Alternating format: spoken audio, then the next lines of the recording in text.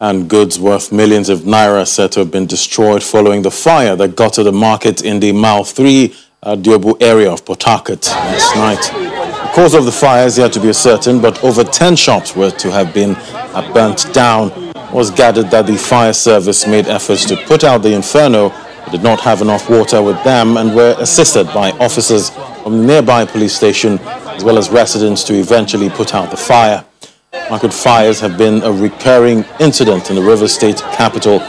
In September 2018, a large section of the fruit garden market was razed by fire.